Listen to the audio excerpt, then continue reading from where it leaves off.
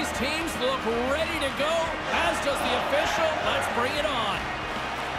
The quest for Lord Stanley's mug continues right here tonight, and we are underway. And that pass doesn't go. Kind of lost control for a second there, but regains possession. Montreal's got the puck against the half wall. He scores! I don't think anybody...